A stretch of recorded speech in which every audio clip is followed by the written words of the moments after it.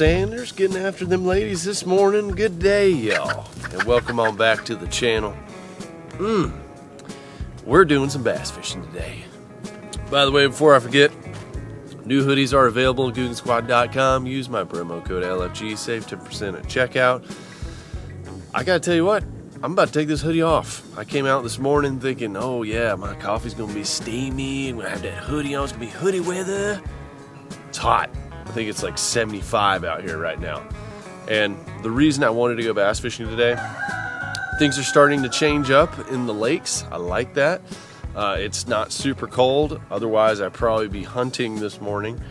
It's just too hot to hunt. I don't want to be sitting up in a saddle, mosquitoes attacking me. I actually have not focused on bass in a little while. I've been filling the freezer. I've been focusing on, on hunting. So I love me a good bass challenge. We're gonna head out to a local lake and see how the conditions have changed a little bit and see how we can adapt and catch some fish with some fall tactics. Just take a look at this dookie right here, y'all. Wow. I think a daggum turkey roosted up there. Took a big old dumpster on my truck last night. You know, this this really is one of the best times to get out on the water. Uh, a lot of people are not fishing, they're hunting. So there's that aspect of it, there's less pressure. And it's the transition time. So they've been out in deep water in the summer for the most part. You get you always got fish that are shallow that'll kind of stay individually. Those lone wolves. But in the fall, they'll they'll start to transition back to the creeks. And that's what we got to figure out. What are they doing? Water temperatures it's coming up. You know, it's 68, coming up to 69 right now. Probably end up being low 70s. I'm gonna start off looking at points, throwing top waters and crankbaits. Shad are pretty scattered out throughout the water column. It's a great time to look for birds that are diving on shad. You see that? Get over there, get your top water, get your get your crankbaits, get your shad looking things out. It'd be a crime to not start out with a top water. So we're going to tie on two step. top water walking bait. This has some draw power. This is definitely something I would leave tied on all day. The focus is shad. Shad are very oily, helps them build up some fat for the winter. And they just start to hone in on those things. I mean, look, look at the shad ball that's just sitting there in like 12 foot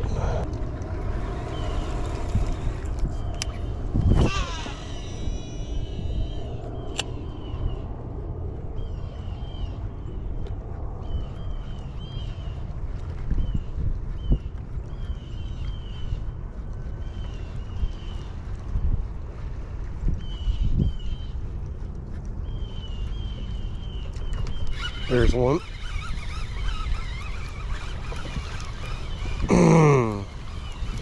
what we got here?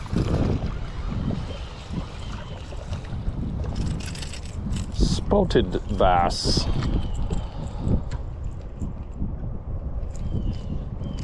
Very, very big fall schoolers right there. The old spotted bass.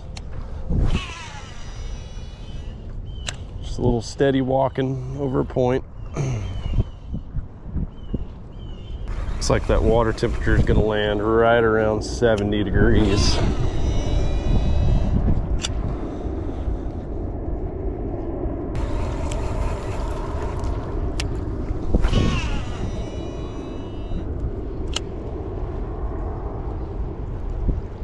There's another one. Oh, that's a better one there. Right on the point. I mean, he did not explode on it, but it's a better fish. Oh yeah, it's a good fish. Take it easy with this braid right here.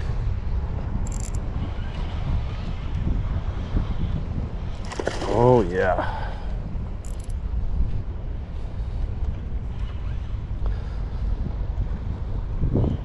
Got them on that reaction glass. So this thing's a good shock absorber with the braid.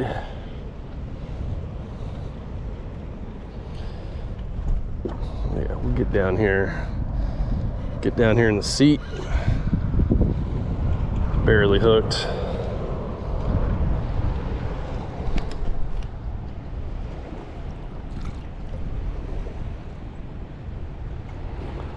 Not sure if I can land this guy. If I sling him, we're just gonna back land him. There we go, guys. That's a toad. That's a toad, largy.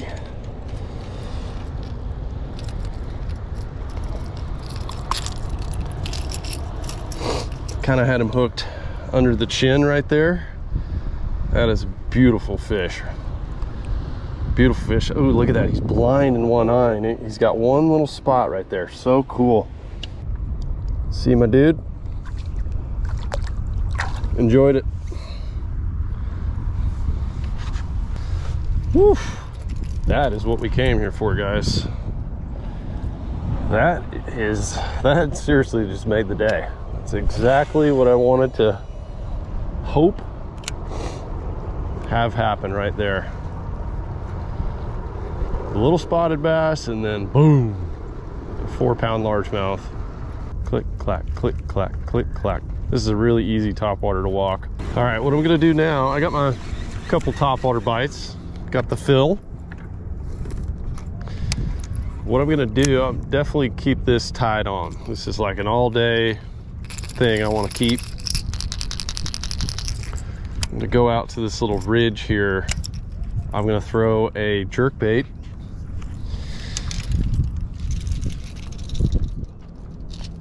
And I'm also gonna switch up, I'm gonna throw a crankbait as well. Might drag a worm, it's a little early. But just from what I saw, the way the bait was positioned up on this ridge, it looks like the fish are kind of, they're pushing them up there. Out here, they're kind of all scattered.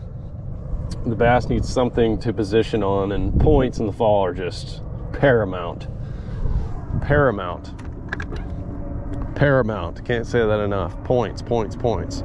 Whether it's main lake, going into creeks, points are always valuable in the fall.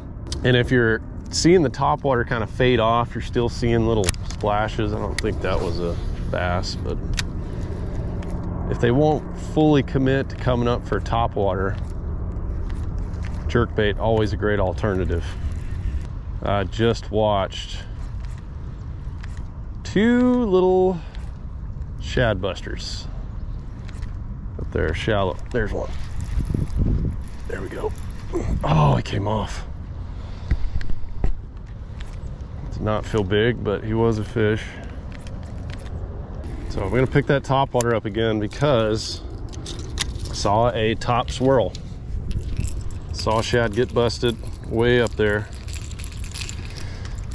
If you're seeing that even if it's noon Pick up that top water. Don't be scared. Oh, golly. That one just, he just missed it. I actually wasn't even looking at my bait, which is usually a good thing. Okay, you know what? I'm going to throw on a new color crankbait right here. This is one of our new ones for the summer and fall in the in the banger. Simple little square bill like that.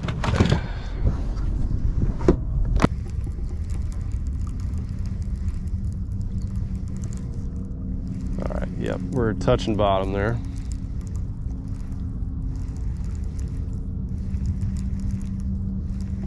Oh, there's one right there. Oh my gosh, it came off. That one felt good too. Felt very good. That was a good thump. He thumped it like a jig. I lost him. Hit a rock and then it just dunk. And we are home.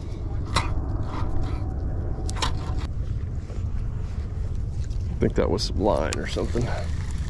Crankbaits typically don't run that well with uh, 10 feet of line attached to them. Little amateur tip of the day. So if you're feeling that crankbait really dig in the bottom, you feel a good thud, just stop for a second.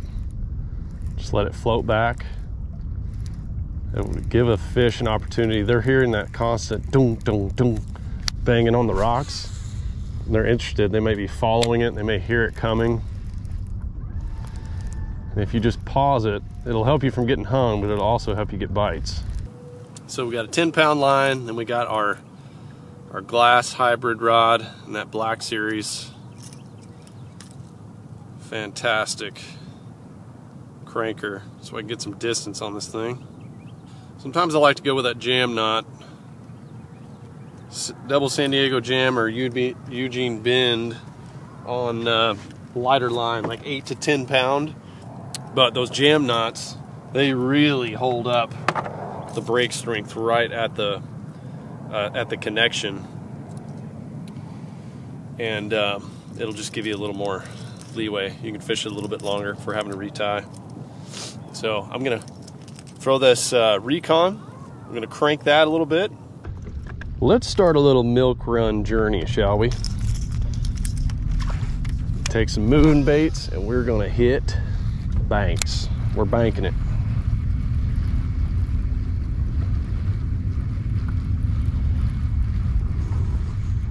Look for points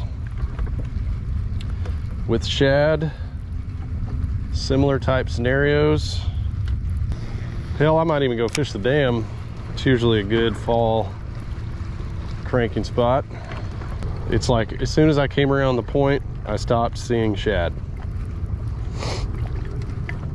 Now, if I go out into deeper water, I'm gonna see them, but I wanna see them up shallow. That means they're getting pinned and fed on.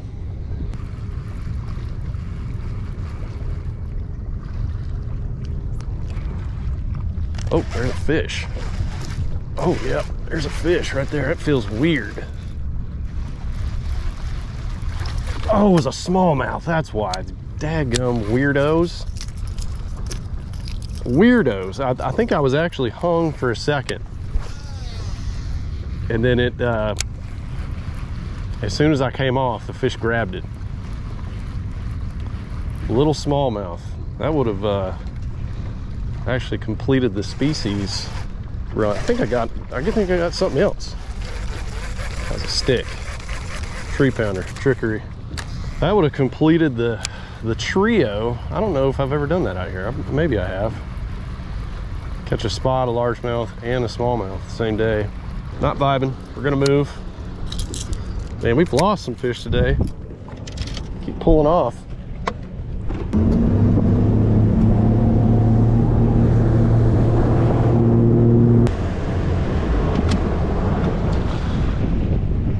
Just gonna have to throw me a little jig on that little wall there.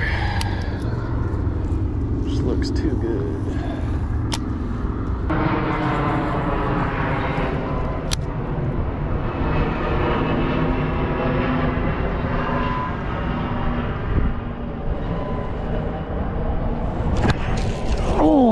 came off. God, slack line that sucker. Gee whiz.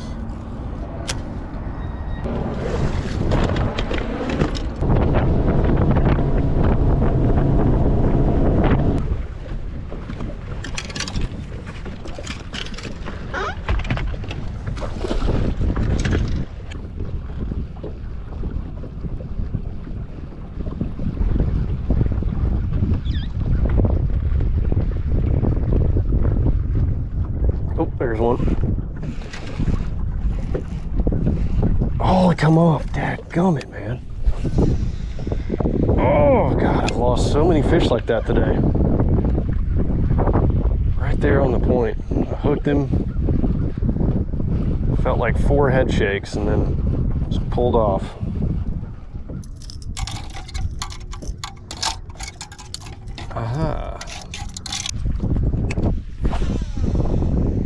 catching it with this rod.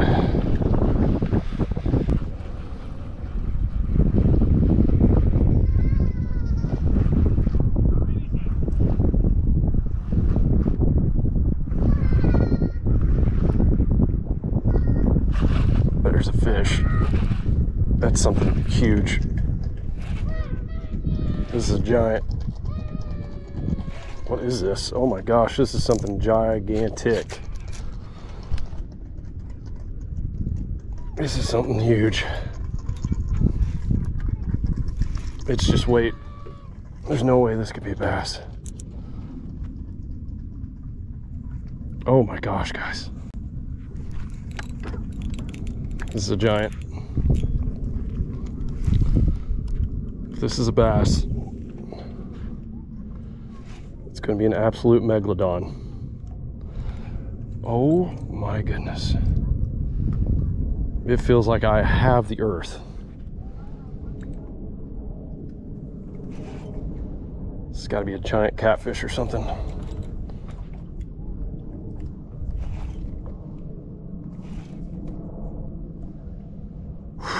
what do we have here, guys?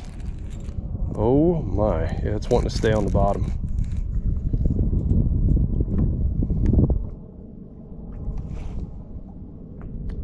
Didn't feel a thump, so I could have snagged something, but I don't know.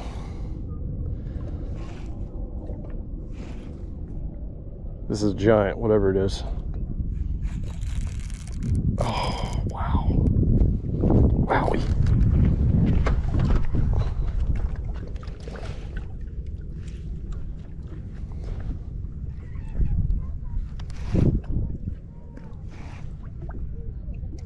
Oh my god, I can't I can't even get it up.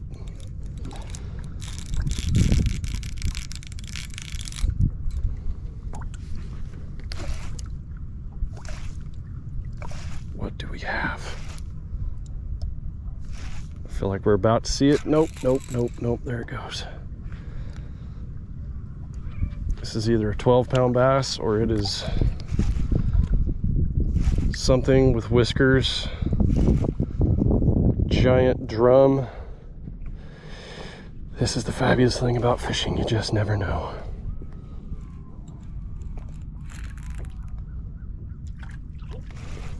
Every time I gain on it, it just goes back down. Oh my gosh, big flathead. Good sized flathead. This thing is this thing is going in the box for me. Wow.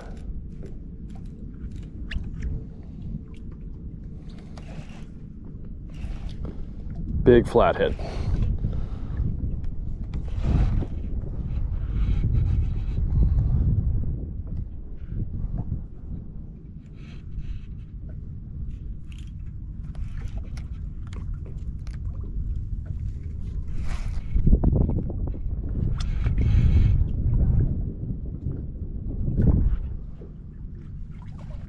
he's hooked right on the outside of the face. Wow, that's a good one. That is a good one there, guys. I'm gonna try to clasp him in the mouth.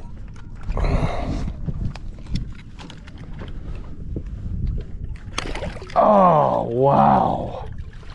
Look at that beast right there. Oh, the crankbait just fell out. Oh my goodness. That is a PB crankbait for, that is a PB flathead out here for me. They get a lot bigger than that, but let's just, let's get a weight on this guy. Eight, 8.8. Oh my goodness. That is a delicious eater right there. Y'all just take a look at that hammer. What a pretty fish. Now, some people call these Appaloosas because of the color, but you know, they're flathead catfish and you can see why got that big flat head and they just sit on the bottom like a rock. And they're active feeders so they will hit crankbaits. They will hit bass lures and I'll catch them every once in a while on bass lures. I actually catch more of these on bass lures than I do when I'm jug lining. So uh, just incredible. We are going to slap the sides off of that baby. Stay tuned for that. Man cannot wait. Cannot wait to put that thing with some spices a little bed of rice Whoo, son. That's going to feed the family for a couple meals. The silver bullet and I, we threw in the towel, guys. After that catfish, no bites. Nothing was happening. But I actually got the amount of bites that I wanted to uh, today. The two I actually landed were on top water, and then I got bites on jerk baits and crank baits, and they were just pulling off, pulling off. Perfect day to crank. I felt good about it, and I, I had the bites that I wanted to, but we did not put together a big sack. By the way, if you guys want to get any of the baits, any of the new gear, LFG, use the code at googansquad.com. LFG, save 10% on, on anything. So if you want to get loaded up on fall baits, um, you can use my promo code anytime and save on the site. What I'm really excited about right now is I just got home. My kids are just at an age where whenever I come home and I have fish, they get so excited. So I'm gonna go grab them and I want them to see this catfish. I want Stephanie to see it too because we're gonna be eating this thing. But it's just so, it's so big, they're gonna freak out. So I'm gonna go get them. Oh, Emmy's getting in the cooler already. What do you think about this thing, guys?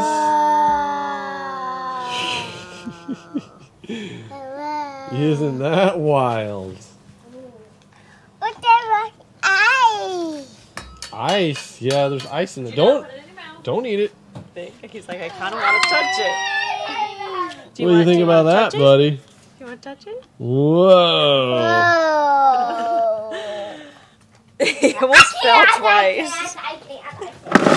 I cannot. I cannot. You cannot. yep, this is what people go noodling for right here. Look at its little whiskers.